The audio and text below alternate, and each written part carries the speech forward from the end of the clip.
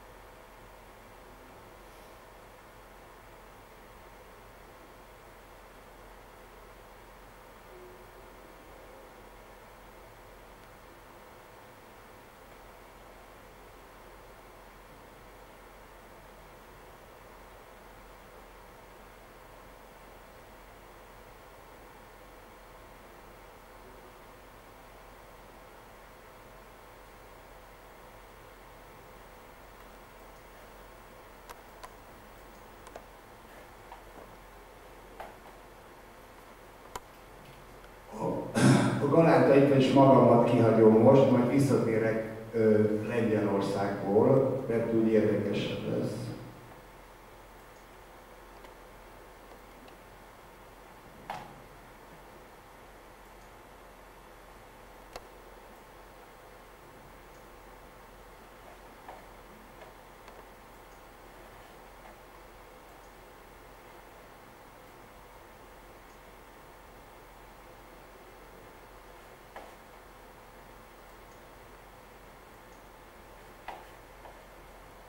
Minden magyar meg akarok mutatni, mert akkor úgy érdekes. Itt a tandori egész közel kerül a problémához, mert itt még az euklideszi kérdésekről is szót ejt. Nem lehet elég jól olvasni, akkor olvasom. A keretben, zárójel nem látható az az euklideszi pont, amelyből a keretben a nem látható nem euklideszi pont, zárójel látható, kiterjedt pont nem hozható létre. Kettes. A keretben látható egy brutálisan létező pont, amely semmilyen euklideszi vagy nem euklideszi pontból nem jött létre. zárójel csak van. Ehhez hozzákapcsoltam egy kanadait,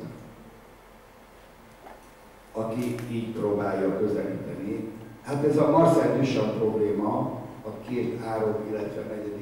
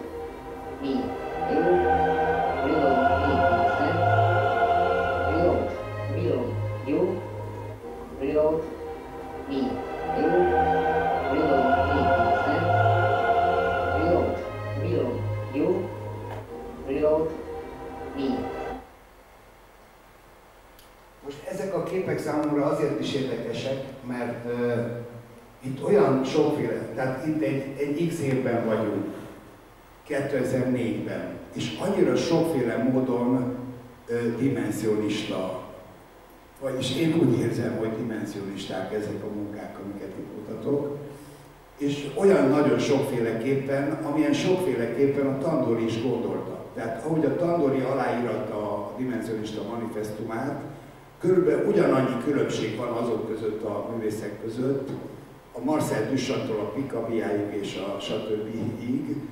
a, most nem tudom fejből sorolni, ugyanolyan nagy különbségek vannak, mint itt. És ez mindig megvan. És ez nagyon érdekes. És na, ez a sokféleség, hogy egy évben, egy témában ennyire sokféle. Na akkor most tovább megyek, itt befejeztem ezt az évet, és akkor most a kétség évébe benézünk, azért, mert az elején mondtam, hogy a, ennek a létértelmezésnek, ami a, itt a kétség évében keletkezett az a ö, neon, ami a sarokban látható, és, ö, és ez teljesen független, most véletlenül került elő, és véletlenül találkozott a tankó jelen, ö, jelen meghatározásával. Tehát a kétség egyenlő lenne, a, tehát a múlt, mert a jelen a múlt, a jövő a múlt, és akkor a jelen az kétség, mert hogy így tapasztaljuk, ugye? Tehát számunkra, vagyis valaki számára van a, a jelen az múlt, mások számára, mondjuk a mi számunkra, akik kutatók vagyunk, a jelen az jövő, tehát de mind a kettő létezik, tehát egymás mellett az életben mind a két fajta nézőpont létezik, vagy tevékenység, tehát akkor ettől kétség a jelen. De ez a fogalmazás a, a, a, a tankónál az élőt jelenti, az élő jelent jelenti. Na most itt a kétség és az élő jelen közötti különbség miatt mutatok néhány oldalt a kétség élőből.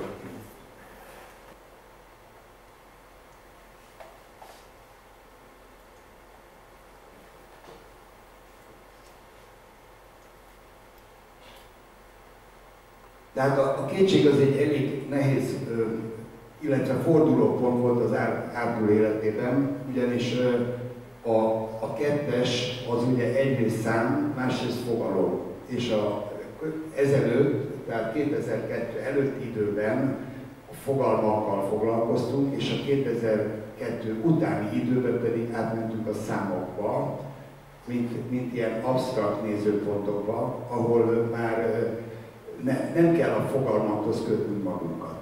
Tehát, mert a számok valahogy exaktabbak, tehát nem kell eldöntenünk egy csomó mindent, tehát sokkal nagyobb a szabadságunk. Tetejében még mondjuk ennek az az érdekessége, ezt mondjuk mellesleg zárójelben, hogy pont 2002-ben volt a fluxus év, amit ünnepeltek itt Európa szerte. Tehát azért jött be itt ez a flux és a, hát a mél és a mélár és a fluxus összeződött. Most egy-két oldalt mutatnék, de a magyar, magyarok kevesen vannak itt. Na itt van egy PMC.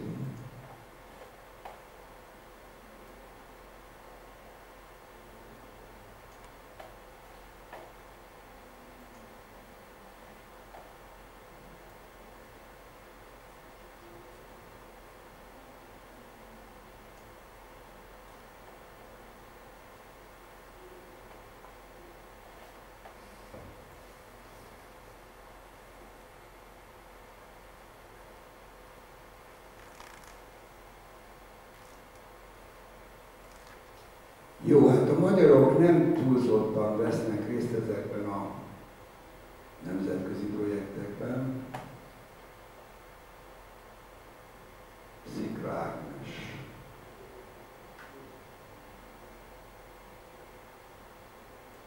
És van egy amerikai megfelelője,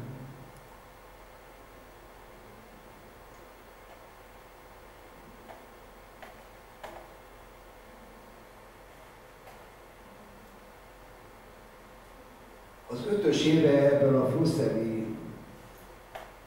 képletből a funkcionárius lett, akit mi, hát hogy értem, hogy értsük, hogy miről van szó. A funkcionális az, funkcionárius az experimentátor, aki megváltoztatja a apparátust, a funkcionális apparátust. Viszont ez valaki nem tudná, megpróbálom röviden elmondani ezt a apparátus funkcionálius kérdést. Ez a William Flussernek van egy könyve a fotográfia filozófiájáról, ami sajnos nem kapható, de a Weber nálunk fent van. És ennek van egy alapképlete, amit én nagyon fontosnak tartok, illetve hát sok minden van még ezen kívül, de ez a legjobban értelmezhető alapképlet, hogy ugye nagyon egyszerű, könnyű is megjegyezni, hogy van egyszer a fényképezőgép, és van egyszer a fényképezés esetében, és van egyszer a fényképész. Tehát van egy ember, meg van egy gép. Ez a gép, ezt aztán a Flusser lefordítja apparátusra, tehát a fényképezőgép apparátus, egy apparátus programokkal működik, és ebben a listában, amit az előbb mutattam, ezt mondjuk hosszadalmas egy külön estét járna bögészni, de bárki otthon megteheti, mert ott a webben van. Na most van ez az apparátus, és az apparátus az nem azt teszi, amit, vagyis hogy azt tenné, amit ő akar, mert vannak programjai, és akkor ő, ő nem akar többet, csak annyit. Viszont van ez a bizonyos fényképész, a funkcionálius, aki meg többet akar tőle.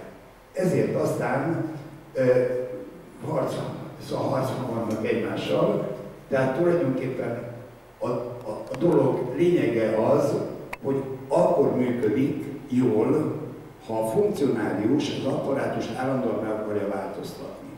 Most ezek, én ezt játszottam már, a, hát a Flusser ugye eszéket írt, és a, azt szokták mondani nekem, hogy hát most mit veszem én azt ilyen komolyan, amikor az, azok csak eszék. De hát az eszék azok nem azért íródnak, hogy ne, vegyük, ne vehessük komolyan. Hát nem muszáj komolyan venni, mert lehet, hogy olyan nem annyira komoly. De amiket a Flusser ír, más könyvében, az írás könyvében is, amikor van-e jövője az írásnak, a címmel, az is a webben megtalálható. Tehát itt arról, ír, arról elmélkedik, hogy, hogy vajon most, ami van, az hogy van, honnan jött, tehát a múlt felé gondolkodva épít fel egy rendszert, egy mai gondolkodással, hogy akkori meg már meghalt, és megpróbálja elgondolni azt, hogy mi az, ami következik, tehát a jövő. Tehát, és végül is dimenzionista gondolkodása van a Flussernek is, hogyha most innen Tankó nézőpontjából nézzük rá. Na most itt, itt a, mindjárt ez muszáj volt ennyit mondani, lehet, hogy sok volt, lehet, hogy kevés, de ezt azért kellett mondanom, mert a, a másik itt a magyarok számára fontos ember, ez Erdély Miklós, aki már arról beszél, hogy a vajon a művészet miről szól, mire, mire vonatkozik. Azt mondja, bennem először, hogy tudnék, a művészet nem csak arra való, amire használják, tehát díszítő, műgyűjtő és műalkotás funkcióra való, 1956-ban jutott eszembe. A művészi gondolkodás alkalmazása adott szituációban, ha lelkesedésből hirtelen egy ilyen új morális jelenség megjelenik, az észre kell venni a művésznek. Erre hangsúlyt kell tenni, ez a művész feladata, mondja ő. Na most a, azt, ezt csak azért hoztam be ide a képbe, mert most ezt nem akarom sokáig mutogatni, mert örült sok minden van, amiről még beszélni kellene. Csak jelzésként be kellett, hogy hozzam, ugyanis itt a művészetről van szó, hogy mikor van értelme a művészetnek. Most itt akkor bejön még a, egy csomó mindenki, de nem érdekesek, a magyarok A magyarok közül a Hanvas Béla. A Hanvas Béla, aki azt mondja, hogy a, hát ez is hosszú lenne, de csak nagyon egyszerűen, hogy azt mondja, hogy az igazságkereső a művész. Hogy a művész igazságkereső. És az Erdély Miklós is azt mondja, mert itt végül is azt mondja, hogy észre kell vennie azt a valami. Hát akkor az, észre kell venni azt, hogy, hogy mi az, ami fontos, mi az, ami nem fontos. Vagy mi az, amit változtatni kell. Tehát visszajutottunk a Flusserhez, azt mondja, hogy a művész az egy funkcionárius, és akkor az apparátus vagy új programokat ír, az apparátus számára ezzel megváltoztatja az apparátust. És a Hamas is ezt mondja, meg a Tankó is ezt mondja. Mindenki ezt mondja, csak máshogyan. Most ez azért nagyon érdekes. Sőt, talán már itt a néhányan még mondták, össze lehetne gyűjteni, hogy már mióta mondták ugyanezt, csak mindig máshogyan. Most, hogy akkor, hogy amikor mi vagyunk most, hogy, hogy akkor most mi újból meg kell, hogy fogalmazzuk. Tehát, hogy semmi más nem teszünk, csak megértjük mindazt, ami már történt, és megpróbáljuk újra fogalmazni a mai viszonyoknak megfelelően. Mert ez a lényeg. És hogyha ez nem történik meg, akkor nem fogjuk érteni. Tehát itt az értésről, hogy meg, hogy értjük meg. Tehát, és ezzel a megértéssel végül is az igazságra pillantunk. És akkor az fog érdekelni bennünket, és hogyha mondjuk művészek vagyunk, és csinálunk valami műveket, vagy műfélét, akkor az igaz lesz, és jó lesz, és meg is marad. A maradandóság értése, és az érték, és az értéknek tekintik, mert ami megmarad, az azért marad meg, mert hogy értéknek tekintik valaki. Tehát itt majdnem így körbe jártuk a dolgot, tehát a tankó is ezért marad meg. Tehát hiába akarják, hogy nem maradjon, agyon hallgatják, hiába hallgatják agyon, az megmarad. Ott megnézzük a darabokat, szóval mindegyik olyan erős és teljesen magyar. Tehát úgy magyar, amennyire csak lehet, és nemzetközileg értékelhető. Experimentátorok a legfontosabb emberek. Na itt hadd mondjam el, hogy ez az experimenter, vagy experimentátor, mindegy, hogy, hogy jobb lenne egyszerűbben mondani, de hogy ez a szó például a magyarban nem használatos, utána néztem a interneten, egyszer valamikor 19. században feltűnt, vagyis legalábbis az interneten egy helyen találtam, viszont a szlovákok meg a csehek abszolút használják. Az angol nyelvterületeken is használják ezt a szót, és akkor olyanokra használják, mint a őrült jó rock zenészek, a feltalálók, de mindenkire. Tehát nem, nincs különbségtevés, hogy most az tudós, vagy rock, rocker, vagy nem tudom mi. Tehát, hogy, hogy mit csinál, hanem hogy magas szinten csinál valamit, az az experimenter. És hogy miért ne lehetne nálunk használni ezt a fogalmat, és akkor teljesen belőttem ezen, hogy hol nem jut eszébe senkinek, hogy használja be idegen szó, még annyi idegen szó van, vagy magyarodik. És, és hogy elnevezünk avantgárdistának, meg mindenféle ilyen, hogyha egyszer ez a szó, ez ül, benne van a szótárban, aztán annak is még külön utána néztem, úgyhogy magyar nyelvben ez már benne van. Mindegy, hogy idegen szó-e, és megszok, pláne most mennyi új idegen szó van, tehát lényeg az, hogy, hogy jelöljük, na, szóval egészen egyszerűen a lényeg az, hogy a tankos Sirató Károly az egy experimentátor, feltaláló. Mondhatjuk így is, hogy feltaláló, de a művészre az experimentátor jobban hangzik, azt gondolom. Na most, hogyha azt mondjuk, hogy az a művészet érdekes csak, amelyik fel van találva, tehát plusz egyes, plusz dimenzióban van, akkor nincs itt probléma, mert akkor a galéria azt árulja, amit árul, és akkor vannak még más művészek is. A, pro, a, a probléma csak abból származik, hogy azt hiszik az emberek, hogy a művészet csak ott van, ahol a galériákban árulják. Tehát, hogy a művészet az a pénzhez kötődik. Holott szó sincs róla. A legnagyobb művészet, ami megmarad, az nem a pénzhez kötődik, és ezt mindenki tudja szerintem, mert hogy millió példa van rá.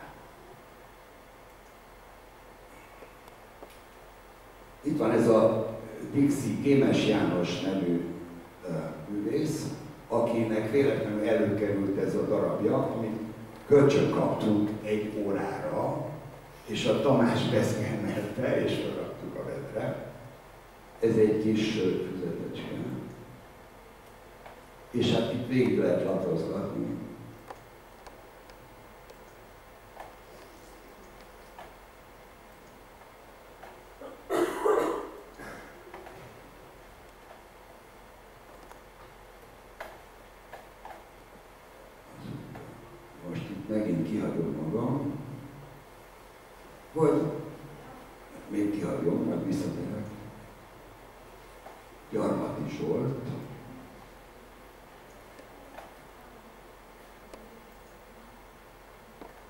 lapozgatni. Zsoltnak volt itt egy kiállítása, és itt megpróbáltunk egy ilyen dimenzionista websájtot csinálni, hogy jobban nézzük, hogy nem. Tamás volt a fő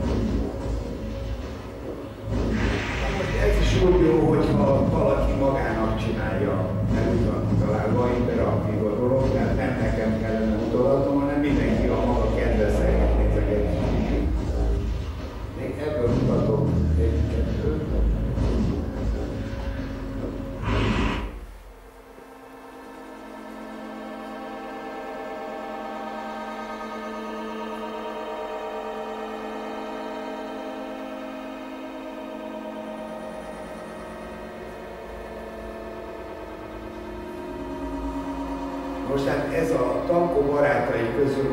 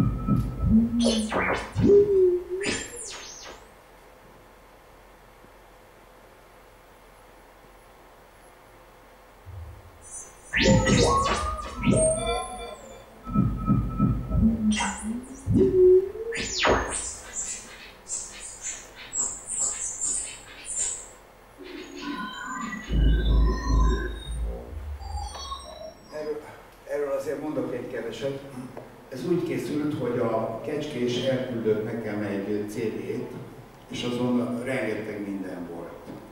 És ezt átnézegettem, de nem a kiállításra küldte, vagy nem erre a projektre küldte, csak úgy éppen akkor elkészült, és akkor gondolta, hogy elküldi, hogy legyen itt egy példány. És végignézegettem, és akkor egyszer csak észrevettem ezt. Tehát a képek és a zenék azok úgy külön voltak. És akkor mondom, hogy fú, de jó, a zene is nagyon jó, a képek is nagyon jó, de ezeket egy ember csinálta, de ő nem gondolta, hogy összerakta így. És akkor én összeraktam, mert nagyon izgatott, hogy, hogy milyen akkor az ember a képpel, meg a hanggal is, ugye?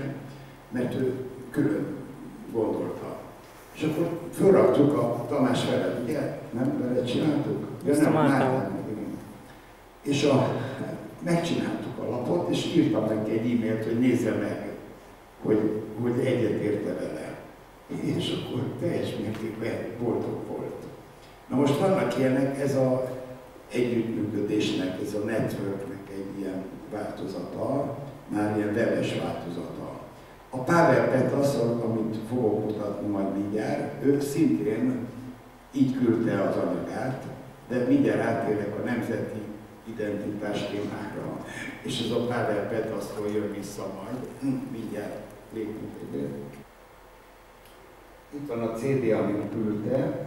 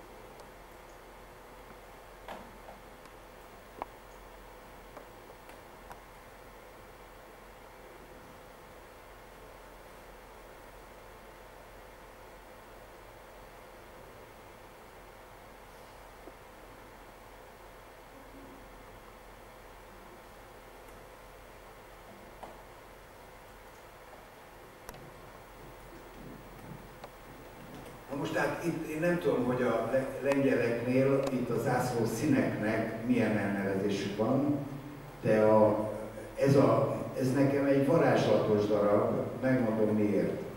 Először is ugye a lengyel zászló fehér és pirosból áll, de itt egy zöld környezetben van, az már három szín. És a magyar zászló pedig piros, fehér, zöld. Gyuri? És de lengyel, igen? Tudod, hogy ma van a lengyel-magyar barátság napja, március Ó, 23. hát fantasztikus. Van, Hát van ez- két lengyel. Ja, igen? Na, jó. Na most ez, szóval ez a művész, ez a Pavel Petras, ugye így kell mondani, mert eszel van írva a vége, a, hogy ő egy, egy fantasztikusan jó művész azért, mert igazságkereső. És ez egy olyan igazság, amit ő itt mutat, vagy eljátszik a kutyával, mert a kutya fehér, és a fehér az a hűség színe, és a kutya, kutya tulajdonsága a hűség, ugye? Akkor a piros, ami az erő, hát a magyar zászlónál az erő, a piros, a fehér a hűség, és a zöld a remény. Most itt a fű a zöld, ami lent van, a remény. Na most itt a magyar zászlóval való rokonság, ez valamilyen metaszintű kapcsolódás a magyarok és a lengyelek között. Én ezt így értelmeztem. És nem, és ugye ott van az a piros, az a szőnyeg, ott, ez egy, ez egy fantasztikus kép. A kutya fehér, a szőnyeg piros, ugye, a szőnyegre rálépünk. Ott az erő a rálépésben van. Tehát, hogy a szőnyeg használat, mert hogy a tárgyak a használatban hordozzák a jelentésüket. Most ez, és akkor ahogy bemutatja az a fa körül, a fehér körül, a hűség körül megy az erő, piros ínyben. És hogy a, és hogy a hűség és az erő milyen viszonyban van egymással. Hm? Hogy középen van, a, mint egy centrumán, a hűség körül van az erő. Na, szóval elmondhatatlanul fantasztikus. Szóval így próbáltuk szavakat találni, de nem. Szóval ezt ért, nem tudom ki mennyire érti. Szóval én, engem ez lenyűgözött, amikor ezt, ezt, ezt is úgy találtam. Mert ő ömlesztre küldte ezen a lemezén, amit itt mutattam, ezen volt rajta, ömlesztre küldte, még rengeteg sok minden más tájképeket, meg minden, és akkor azon találtam. Most ez a művészek egymással való kapcsolata, hogy az egyik a másiknak csinál valamit, vagy a, ez beszélget, ez kommunikáció, én azt gondolom. És, és akkor nem, nem is kell köszöngetni. Szóval dolgozunk egymásért. Mert ez egy munka. Én ezt értetettem. De nem értetettem, magam miatt tettem. Tehát végül is, amikor én úgy csinálok valamit valakinek, hogy nem is neki csinálom, hanem magamnak, mert én magamat becsülöm meg azzal, hogy őt megbecsülöm. Hm? Na milyen szép, nem? Ez akkor készült, de nem, ezt nem ezt akartam csinálni, hanem megmutatom azt, amit először akartam csinálni. Az első ötlet az volt, hogy terveztem ezt az zászlót, ez a, ugye világos, hogy ez az 56-os magyar zászló ki van lukasztva, és beleraktuk a vágyaink Európáját, ami most teljesül. És ugyanígy csináltam egy európai zászlót is, magyar, magyar európai zászlót, és ezt megpróbáltam megcsináltatni digitálisan egy céggel, és nem voltak hajlandók megcsinálni, mert hogy én tiszteletlen vagyok a, a zászlókkal. Úgyhogy ezért aztán ide egy dokumentumot is betettem, hogy világos legyen. Tisztelt Galántai György úr, az ön által kért zászlók elkészítését nem tudjuk vállalni, a nemzeti jelképek tekintélyét nem megőrző formátum miatt. Üdvözletes! Na most ez, a, ez nagyon sérelmes nekem, és akkor azért csináltam a Lukas utána azt kitaláltam, mert ugye az nem kell technika, semmi technika nem kell. Egyszer vettem két zászlót, és csináltam vele egy lukat. És kész. És akkor nem kell a digitális technika, meg stb., mert zászló kap lehet, és akkor senki nem is szólhat bele. Na most, a, ez a zászló pedig azért készült, és mert a Tankó Sirató Károly dimenzionista manifestumra hivatkozva, ez a dimenzionista trikolor, úgy, úgy neveztem el, mert hogy egyszer van ugye a trikolor, és akkor a trikolor plusz egy, az a N, és a plusz egy, az az Európa. Tehát ha azt mondom, hogy a magyar plusz egy, akkor az egyszer, ahogy mondtam, hogy M plusz M, vagy magyar plusz művészet, akkor számunkra Európa művészet, a magyarok számára, de Európa számára a magyarok, magyarok is művészetet kell, hogy jelentsenek. Tehát Európát, Magyarország, Európában Magyarország művészetet kell, hogy jelentsen. Nem tudom, mennyire érthető. Tehát ez az a bizonyos híd vagy kapcsolat. Tehát a dimenzionizmus lényege erről szól. Úgyhogy ez, ez ha, ha erről szól, nekem erről szól, ha erről szól, akkor örök. És akkor egy, hogy is mondjam, szóval értelme, egy értelmes élethez tartozó valami, és az meg kell, hogy maradjon. Na, szóval körülbelül ennyit akartam mondani. Látom, a bélyegesek elmentek, hogy a bélyeget nem tudom, még ha van kedve társaságnak nézegetni, akkor átérek a bélyegre, a művészbélyegre. Igen? Itt vagyunk a hetes évben, idén, és a Hát a hetes év minden évben szoktam egy kis rövidke kis szöveget írni, hogy akkor körülbelül, hogyha én azt mondom, hogy a hetes éve, az mit jelent. És a, hát a hatosra azt mondtam, hogy ez a legtökéletesebb szám, de ugye, ha a legtökéletesebb után már nem tud jönni semmi, ugye? Hogyha ha jön egy szám még a legtökéletesebb szám után, az a plusz egy. Tehát a hetes az plusz egy. Most utána néztem, a, a szám, szám hagyományban, vagy a számokkal foglalkozó hagyományokban a hetes az, az újra egy. Tehát akkor stimmel a dolog, mert a 6 az az n, és a 7-es a plusz 1, akkor ez egy dimenzionista év. A 2007 az dimenzionista év, tehát a sirató éve. Úgyhogy egész évben dimenzionistumussal fogunk foglalkozni, emiatt. És azt mondja egyébként a, a hogy a hetes év az öntudat és a spirituális fejlődés éve. Gyönyörű, nem? Na, mondjuk, most nem részletezem tovább. Akkor megmutatjuk, megnézzük a bélyeget. Ez éppen ma nyílt a Szépművészeti Múzeumban.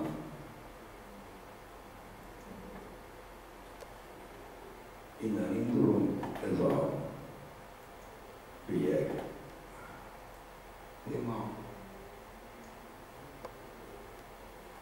Na most hát ez, ez most meg sokáig tartana, most ebből csak annyit mondanék, hogy ebben az az érdekesség, hogy nem a címet, azt az igazgató adta, nem is a, az, hogy a fluxustól az internetig, az is csak a reklám helye, és az igazgató elképzelése szerint van, de hogy ezt végül is ezt a kívánságot, hogy ő, ő ezt, hogy én ezt, mert én nekem kellett megcsinálni ezt az anyagot, összerendeznem, hogy ezt a címet én igaz módon csináljam meg, ezért kellett ilyen szavakat találnom, amelyek, ö, amelyekre rárendezhetem, vagy amire kioszthatom az anyagot. És akkor így kezdődött, hát muszáj volt mindegyikre ö, megtalálnom az indokomat is, hogy miért. Most a humorizmus az a flux, ilyen szavak van, humorizmus, erotizmus, korhely, művész, tudomány, művészet, politika, anyag, szerkezet, funkció, forma, globális, lokális, lokális, telematikus.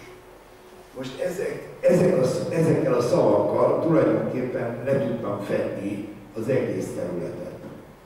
És hát itt mindegyik tartozik valami, humorizmus az a fluxus, erotizmus az a Marcel Duchamphoz tartozik, mert a Marcel Duchamp jelentette ki ebben az interjújában, amit az előbb már mutattam, akkor rákérdeztek, hogy ő most dada vagy, vagy szürrealizmus, vagy melyik áll közel hozzá, és akkor ő azt mondta, hogy ez erotizmus.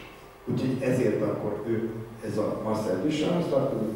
A kor, a hely és a művész, az mondjuk ugye az egy ilyen fogalom, ö, ö, olyan három fogalom, ami, amivel jellemezhetjük, tehát egy sem hiányozhat egy műtárgy mögül, egy műalkotás mögül.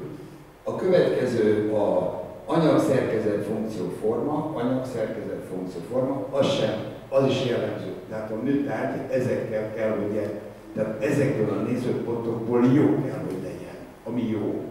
Tehát ha szét, szételemezzük egy, egy művet, akkor ezekre mindre választ kell kapni.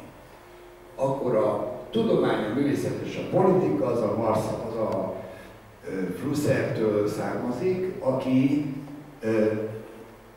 most ezt nagyon röviden mondom, aki azt mondta, hogy ha a tudomány, a művészet és a politika egy nyelven tud beszélni, akkor soha nem látott dolgokat fognak keletkezni. De ez egy, mondjuk ezt én nagyon durván mondtam, ez, egy finomabban, utána lehet olvasni. Vannak, szóval aki a, tovább akarja kutatni, akkor kutatható.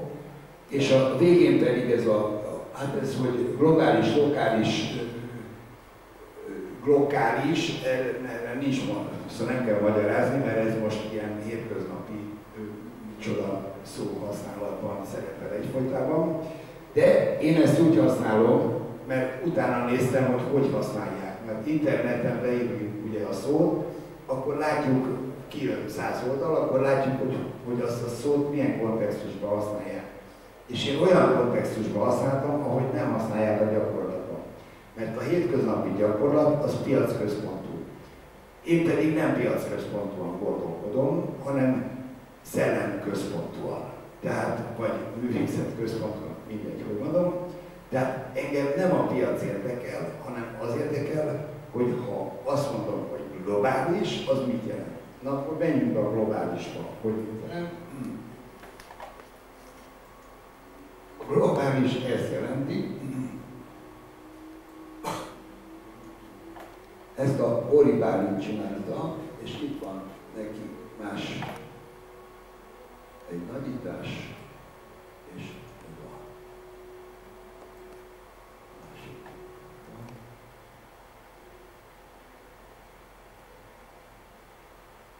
Na, szóval egy, egy térképpel elmondva a globális,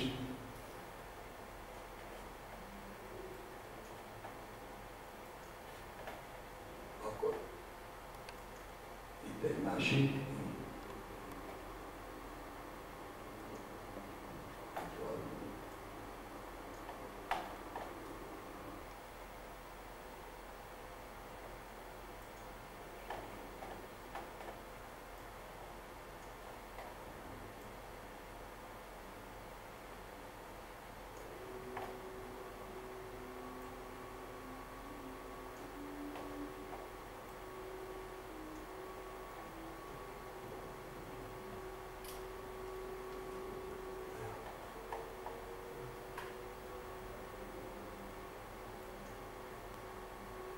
Hát körülbelül ennyit akartam dimenzionizmus témában mondani. Köszönöm a figyelmet. Még lehetne folytatni, de szerintem nem kell már ennyi elég pont. De még rengeteg ága van mindenfelé.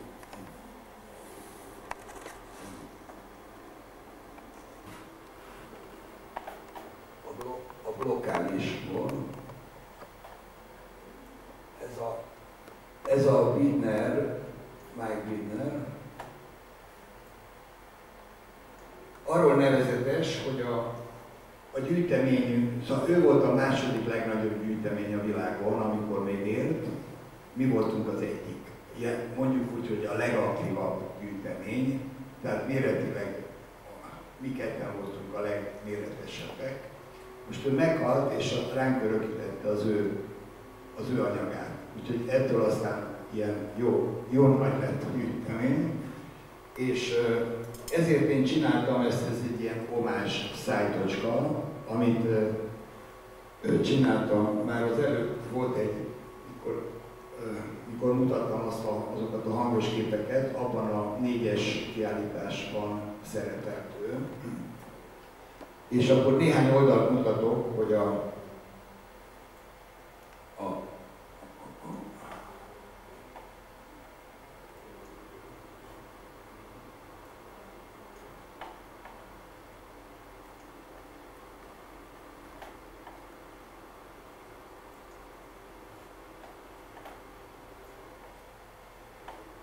Most itt is, itt is egy olyasmit csináltam, hogy ezeket, a, ezt az anyagot, ami itt szerepel képileg, mondjuk ezeket a dokumentumokat, mint ez, azokat ö, hát kaptam, ö,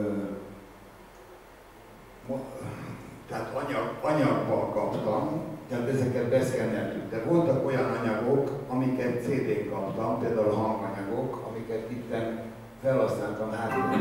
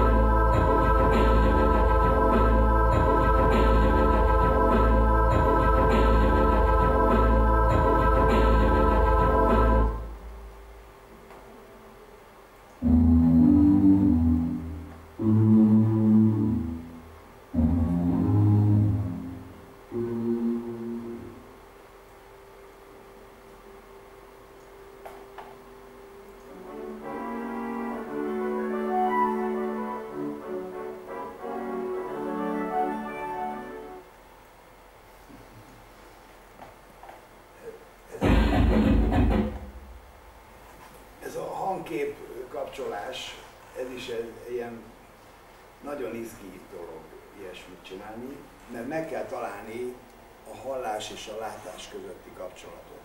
És ez a Bidner, ez egy tanulmány tulajdonképpen. Így most, hogy egy csomót láttunk, úgy lehet látni, érezni, hogy ez egy tanulmány arra. Tehát ez nem mű.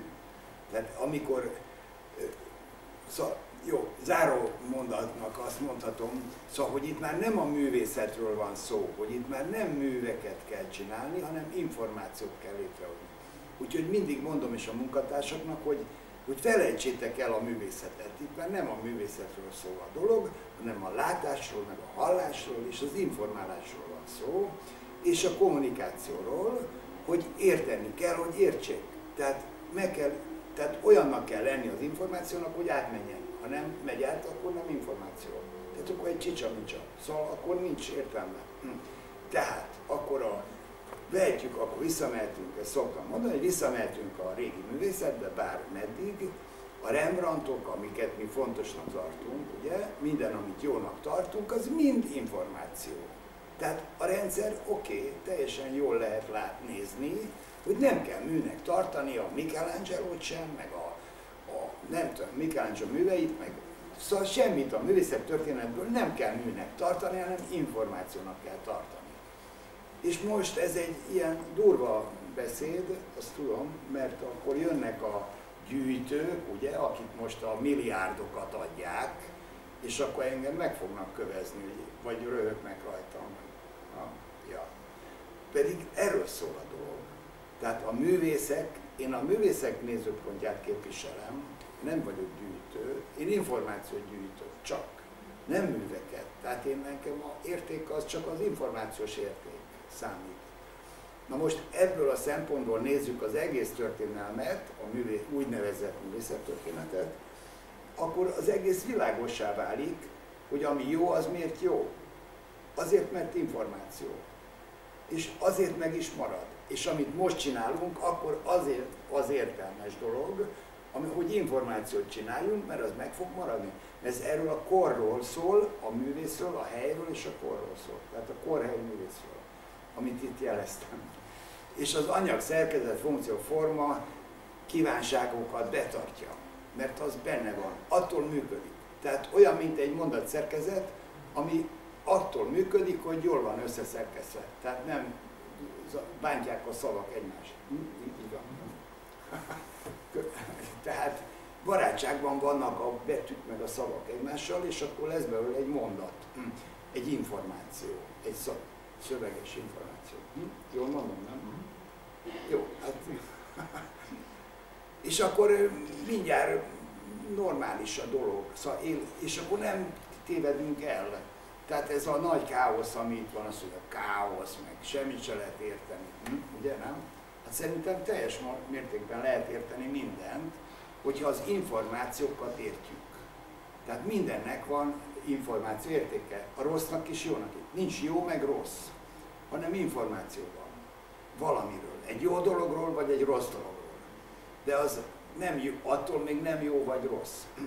Most van a szépművészet, így csinált egy katalógust a bélyeg ehhez a kiállításhoz, amiben ez is benne van, és szörnyű csúnya. Nagyon, nagyon csúnya. Szóval ilyet nem szabad csinálni. És akkor most nézegettem ma, hát először kétségbe is estem ezen, mert hogy egy sablon, nekik van egy sorozatuk, ott a kiállító teremben, ahol ez van, ez a grafikai terem, és hogy ami ott a grafikai teremben ki lesz állítva, Rembrandt, vagy, vagy művészbélyeg, vagy tök mindegy, hogy mi, annak egy ilyen nagyon-nagyon meghatározott katalógus formája van, és még a színe is meg vannak határozva, meg a tipográfiája, meg a betűtípusa, meg a minden. És akkor mondom, de a Dürer meg a művészbélyeg az nem ugyanaz. Az egy másik kor. És hogy legalább a betűtípust azt kéne más, mert az a 10. 6. század. Ez meg a 21. bocs. és akkor ugyanazzal a betűvel nem írhatjuk, mint a, mert egy más kor. Megjöttél? És, de nem, nem, nem. És akkor most már kezdem úgy látni, hogy nem baj, mert különben nyomdailag szépen van megcsinálva, papír is jó, meg, meg rendesen van megnyomva, de mondom, akkor ez egy kortörténeti dokumentum, és nem annyira rólam szól, mint a magyar gondolkodásról. A mostani helyzetről szól ez a darab. Mert elképzeltem, hogy most 50 év múlva majd ott nézegetik a katalógusokat, és akkor látják, hogy jé, ez még rosszabb, mint a diktatúrában volt. Mert akkor is készült, 20 éve ezelőtt készült a diktatúrában is egy katalógus, azt én terveztem, megengedték, hogy én tervezzem, és az ilyen vidám darab. Ez meg szomorú. Nem engedték meg, hogy én tervezzem. Mondom, hogy könyörgöm, ez egy vidám dolog, ez nem szabad, hogy szomorú legyen a katalógus. De ők ezt gondolták.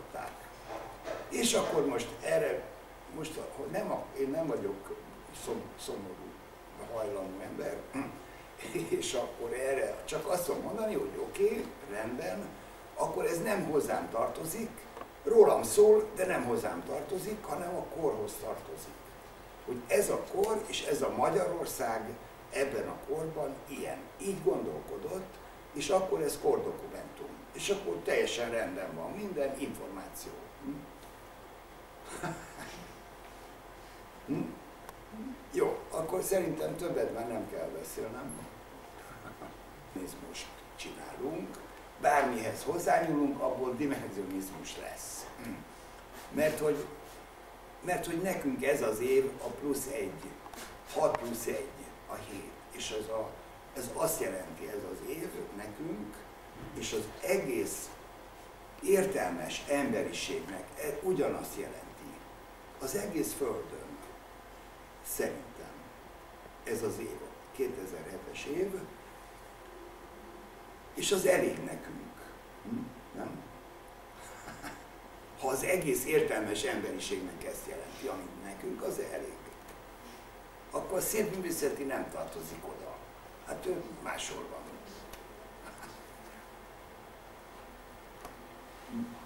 Valahogy meg kell oldanunk, mert különben meg rossz kedvek leszünk, és az meg nem hasznos Igaz?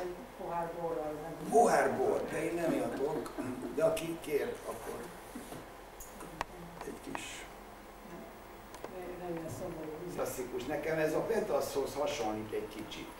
Tehát, ja, a petaszról még azt mondta, petas, bocsánat, mi esznek, olvassuk az ezt, hogy róla, szóval, hogy ő, ő egyszerre annyira identikus lengyel, tehát lokális, és ugyanakkor meg globálisan gondolkodik.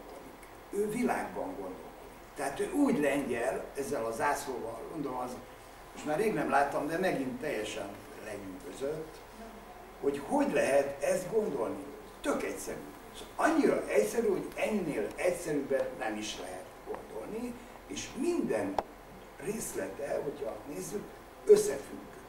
És nem csak azzal függ össze, tehát az ő képpen, képében függ össze, hanem mindennel, ami mögötte van. Tehát egész lengyel-magyar, ahogy mondtam, a lengyel-magyar barátsággal, a, a zászló, a heraldikai jelentésekkel. És az is minden magyarázat, tehát egy magyarázatot lehet találni, egy csomó mindenre. Tehát ez a, a művészet ezt tudja. Ez egy valami olyan tudás, ami miatt a művészetnek értelme van. Tehát én ezt gondolom, mert én állandóan keresem a művészet értelmét, hogy van-e értelme a művészetnek, hogy nem valami hülyeség talán, bolond emberek csinálnak. De nem, mert hogy a, ilyen csillagászati összegeket találnak ki, hogy milliárdokat adnak egy izért, egy Andy Warholért, ami 250 dollárba volt eredetileg. Hogy ez nem, az nem normális, az hol biztos hogy ezt csinálják. Ahelyett, hogy ezeket az összegeket például a világ azon részeire osztanák szét, ahol szegénység van. Miért kell egy műalkotásért ilyen sok pénzt adni? Ez nonsens. Szerintem. De ezt nem lehet megváltoztatni, mert ez így alakult. És ezt nem is lehet visszacsinálni. Szóval nem tudom, mit lehet csinálni azt lehet csinálni, amit hát a dadaisták, tehát az egész progresszív művészet, művészet művészeit csináltak, hogy értéktelen műveket kell csinálni. végül, és bevinni a múzeumba, ami esetleg pén- pénzre váltható érték lenne, az bevinni a múzeumba, ott egy forintot ér csak. Tehát, hogy ne keletkezzen ilyen pénzzel mérhető értéke a műnek. És egész sokszor én csak a web, én a Weberre esküszöm, mert itt nincsen. Itt ez nem mű. Ez másolható. Bárki, és nincs copyright. Bárki lemásolhatja, tovább építheti, bármit csinálhat, itt már nincsen pénz. Egyszerűen nem lehet megvenni. Mert mindenki lehet, akkor azt nem lehet megvenni, igaz? Mert akkor miért venné meg, ha ő ingyen leszedheti innen, fölnagyíthatja, gyönyörű printeket lehet csinálni. Most a szépművészeti oldalára egy ilyen picike kis kép, bélyeg képecskét felnagyítottak akkorára, mint az a fal. Az van ott a dekoráció. Itt is van a művész, a Michel Hosszú, magyar származású, francia. Ez az. Az a felső. Hát itt is már nagyon nagy, de ez a, akkora, mint, még egy kicsit talán ennél is kisebb. Nem, ekkora. Az eredeti ekkora, mint a képernyőn itt látszik. Ekkora. És ez egy fantasztikus rácúra. Még egy meditást is tudunk csinálni. Még nagyobbra veszünk. Na, szóval a képekkel bármit lehet csinálni, mindenki kedve szerint használhatja, tök jó.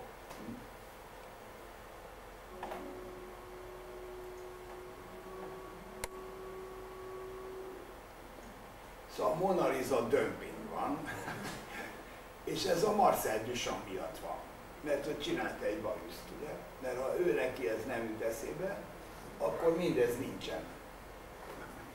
Szóval a művészet evolúciója.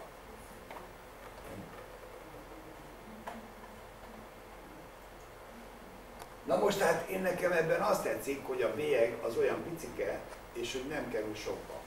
És sokszorosítják, meg küldik, meg felrakják a webre, másolják, tovább írják. Szóval őrületes egy, egy nagy mozgás van. Na most, tulajdonképpen a, túl, a gazdaságban, amikor túl, túltermelés van, ugye, akkor válság keletkezik. Tehát akkor elértéktelenednek a dolgok, ha túltermelés van. Most a művészetben ez nincsen.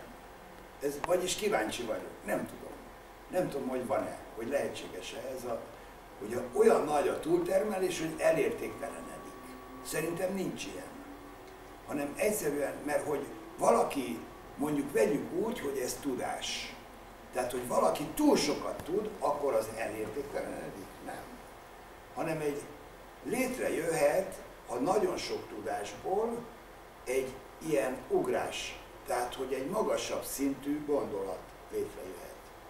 Tehát azt gondolom, hogy ebből a művészet túltermelésből létrejön valami, egy olyan, ami nem tudna létrejönni különben, ha nem lenne ez a túltermelés. Úgyhogy a bélyeget azért szeretem. Hát itt egy bélyegen hány mű van? 1, 2, 3, 4, 5, 6, 1, 2, 3, 4, 6 szor 6, 36 mondjuk. Igen, kb. 1, 2, 3, 4, 5, 6. 36 mű. Egy ekkora A4-es lapon. 36 mű. Hát ez egy kiállítási anyag, ugye? És akkor semmi. Akkor ez úgy olyan, mint hogy reggelizünk, ebédelünk, vacsorázunk, művészet. és akkor az ugyanannyi. És az mit jelent? Az azt jelenti, hogy nyakig vagyunk benne, és akkor nem lehet megvenni. És nincsenek milliárdok. Hanem a milliárdokat valahova tenni kell, mert az van valahol, és akkor az elosztódik valahova, máshova. Talán, mondjuk én optimista vagyok, talán elosztódik máshova. Jobb helyre. Mert ez így teljesen abszurd. Hogy én fel vagyok háborodva ezen. Nem az, hogy ki, ki, hogy Van Gogh, vagy Warhol, vagy kicsoda. Nem. Hogy egy ilyen eszelős összeget ad, tud adni valaki egy képért, és eközben pedig a világnak egy nagy része nyomorok, szegénységben éhezik és, és elpusztul, meg betegségben, meg szörnyűségben él. Hát azért ez lehetetlen, nem?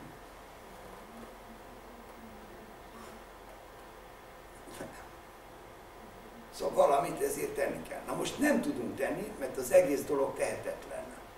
Tehát a lehetetlen az egy tehetetlen, mondjuk így. De, mert hogy a világ az ne, nincs tudatában magának, mert az nem olyan. Az ember lehet tudatában magának, de a világ nem olyan. Nem tud. Miért? Egy, egyik fa nem gondoskodik a másikról, és az emberek sem. A, anya a gyerekéről, stb. Ami hozzátartozik, és kész, ennyi. Nem több. Mit, mit bologatsz? Nem így van? Jó, legfeljebb van egy barátja még. Vagy egy, mit tudom én, egy valamilyen pajtása, és kész. Tehát nagyon kis picike egységekben van valamilyen tudatosság. Az egész emberiség nem. Miért van az, hogy a, a, az ENSZ, meg a, a legfőbb ilyen nagy szervezetek, akik a világ, azért vannak, hogy a világ dolgait rendbe rakják. Hogy nem tudják rendbe rakni. Miért? Miért nem? Mert már elavultak, mondjuk.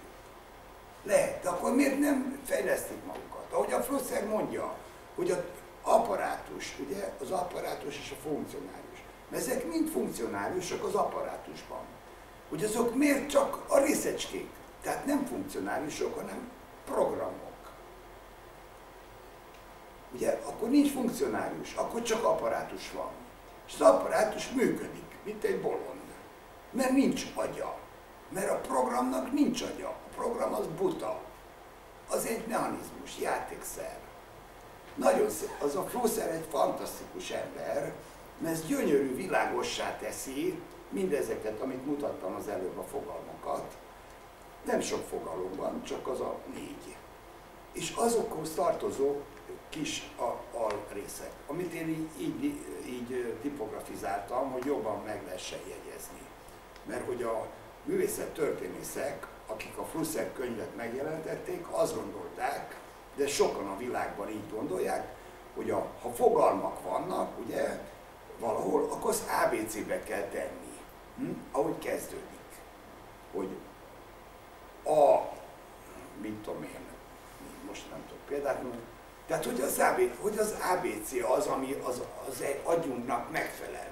De nem az ABC, ami megfelel az agyunknak, ezt is a Flusser írja a másik könyvében, az írásban, nem az ABC. A képek. A képeket tudjuk megjegyezni. És az egymáshoz tartozást tudjuk megjegyezni. És az összerakás olvasása az a jó olvasás, hogy összerakjuk a dolgokat. Ahogy, és akkor ezt megpróbáltam ezzel a...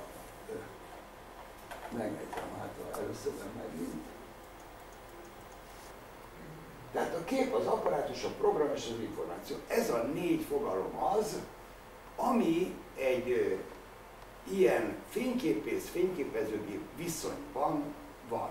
Nincs más. Ez a négy fogalom van. Ezt kell figyelembe vennie a funkcionáriusnak, az az ötödik a funkcionárius. De az apparátusban ez. A kép azt mondja. És akkor itt le, azt mondja, hogy mi, ja, és hogy mi mit jelent. Azt mondja, mi a kép? Jelentésteli felület, amelyen a képelemek között mágikus kapcsolat van. Na milyen? Nem semmi. Hm? Ilyen, ez a kép. Hát attól az ember úgy földbe gyökerezik. Hm? Úgy néz, ó, súlya van a dolgoknak. Hogy a kép elemek. Tehát a kép jelentésteli felület, amelyen a képelemek között mágikus kapcsolat van. Szuper. Ugye? Nem szuper? Akkor mit kell ezen vitatkozni? Semmi. És akkor így folytatja a jelentés, a jel, a kód, az univerzum, a szimptoma, stb. És akkor itt jön még egy csomó ilyen, a mágia, a ritus, mi a mágia? Ja, azt mondja, hogy mágikus kapcsolat. És a mágia mi az? Az ugyanannak örök visszatérése elvnek megfelelő létforma. Bang! Hm? Fú. És akkor az ember beül a csendben, otthon egy kis szobájában, és akkor ezen tud úgy burgulázni, hogy, hogy akkor ha ezt képes megérteni és beépíteni magába, hogy akkor ő egy normális ember. Attól kezdve, mint arra szól a játék, hogy most normálisak tudunk-e lenni, vagy sem. Mert a normális emberekre azt szokták mondani, hogy van egy-kettő, ilyen nem túl sok, mint Albert Einstein például egy norm, azt mondja, zseni. Nem zseni, normális. Vagy a Neumann János, akit szeretek nagyon, azt mondja, ébren van, mondják a tudós társai. Azt mondja, mi olyanok voltunk, mint akik félálomban vannak, de a János az ébren volt. Hogy ébren lenni. Hm? Ilyen. És akkor nem kell hinni semmiben. Istenekben nem kell hinni, mert az, attól az ember elhűl. Mert az nem, az, az, az metafora. Tehát az élet nem metafora, hanem valóság. És a valóság teljesen világos információkból áll. És akkor nincs semmi, lehet metaforákat is használni, de nincsen szükség. Okvetlenül. Hát a jól esik, mit tudom, gyerekkorban, a meseformában, vagy jó. Szóval, de hogy tudjuk, hogy az metafora. Tehát tudjuk, hogy persze lehet Isten is gondolni, de tudjuk, hogy az egy metafora. Tehát, hogy a valóság az nem az. Mert akkor öldökölni fogunk. Mert ő egy másik Istenben hisz, mint én. És már kész is a háború. Hm? Ugye? Mert természetből csak egy van. Normalitás. Az normalitás. Hogy a nap, meg a csillagok, meg minden, ami van, az van. Tehát az nincs vita, hogy a, ha nem süt a nap, akkor mi van. Van vita valaki? Nincsen. És akkor miért kötjük valamihez, egy metaforához? Miért? Nincs értelme. Azért, hogy lövöldözhessünk egymásra? Hm? Nem. De igen, azért. Mert szükségünk van a lövöldözésre. De akkor nem vagyunk normálisak viszont. Hm? Igaz?